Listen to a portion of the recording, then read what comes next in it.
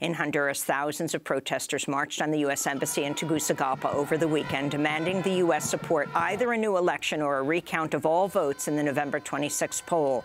The protesters charge incumbent President Juan Orlando Hernandez used used Honduras' National Election Commission to rig the election after early counting showed the opposition candidate, Salvador Nasralla, five points ahead. This is protester Maria Fernanda Bustillo Gomez. En este momento estamos enfrente de la Embajada de Estados Unidos.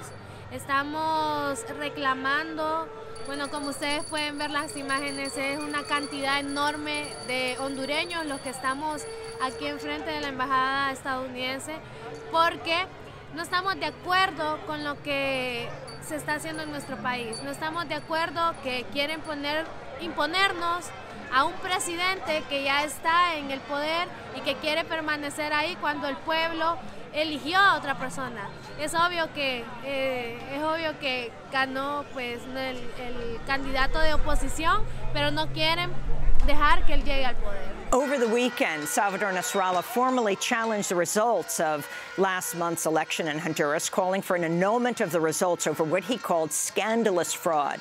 To see our interview with former Honduran President Manuel Zelaya Friday, go to democracynow.org.